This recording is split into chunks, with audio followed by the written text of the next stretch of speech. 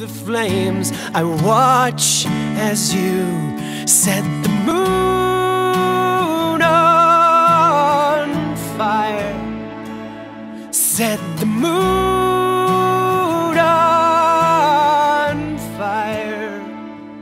Set the moon on fire and watch it burn. But I can't seem to adjust.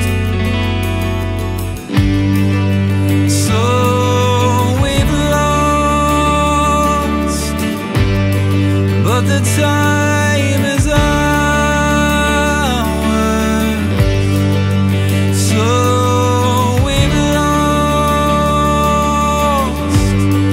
but the time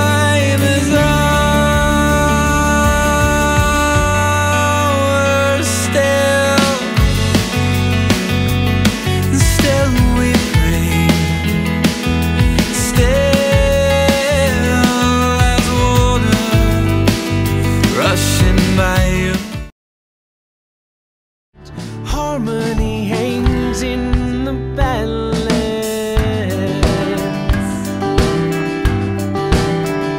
Really cool brotherhood we got going on. Dude, they are they've become like brothers. I feel like they're my brothers now. Like just like four brothers just playing music together. Through the dust of our dreams, words only seem to If I weren't playing bass, I'd be a fan of these songs. And that they can connect to it in some way. They can connect to the songwriting. They can connect to our story. Yeah, I just think we have something unique. I just want to keep making music.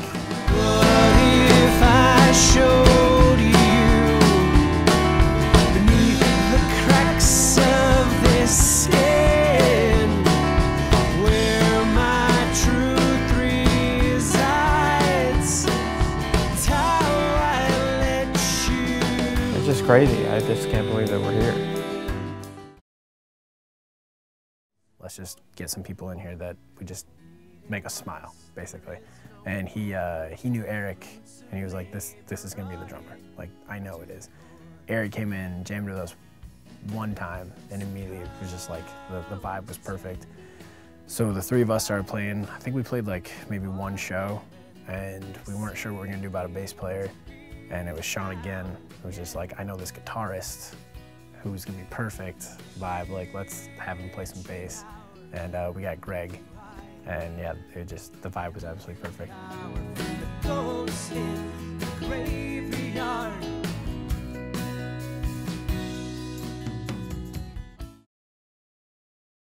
And the first time that him and Eric ever played together, we shot a friggin' live video at the the greenhouse in Bloomfield and like made a whole thing of it. Pat and Dylan were there producing it, and they had never played together. We had rehearsed with them individually, but the two of them had never played together, and now they're like inseparable, which is really cool. Um, yeah, so it's just like it's become like a brotherhood, and I'm so thankful to have these guys um, in my life because it's, it's freaking awesome playing music together.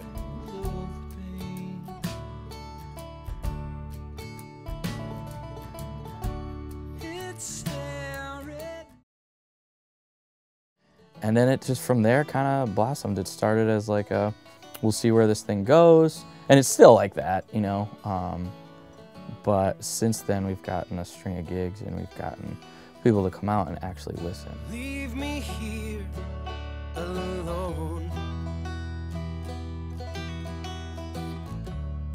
A.